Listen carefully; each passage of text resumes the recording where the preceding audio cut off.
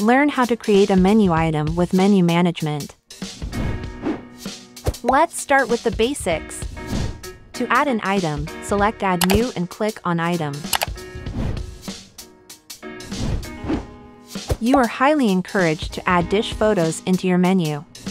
Dish photos give customers visual expectations of your dish. Menus with photos have higher click rate, orders, and revenue. Click on Upload Dish Photo and select your dish photo from your device. Alternatively, you can take a photo with your camera.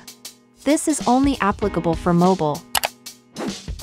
Crop the photo with the item positioned in the middle. Once done, click on Save.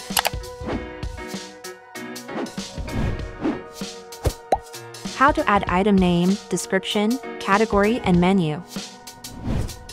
Having an accurate item details helps in boosting customers' browsing experience. Enter item name and description in primary and secondary language. Select a category that best suits your item.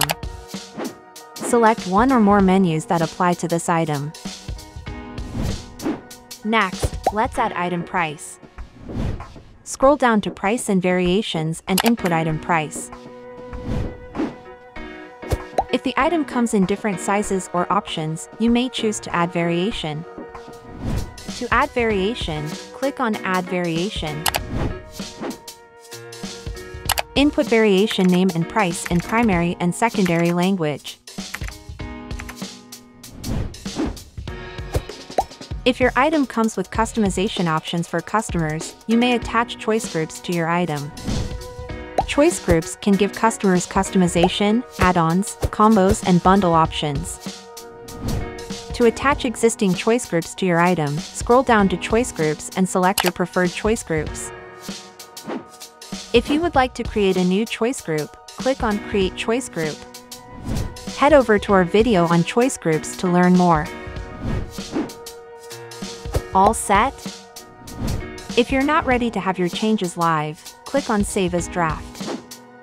If you would like to submit your item, click on Publish. For every price update, you will be prompted to submit a clear photo of your dine-in menu. The menu photo must include the price of the item, to reuse previously uploaded menu photos, choose Select Dine in menu you uploaded before, select your desired images and submit. To upload new menu photos, choose Upload New Dine in menu. Click on Upload and submit your menu photos from your device. Your menu item is then successfully submitted for review.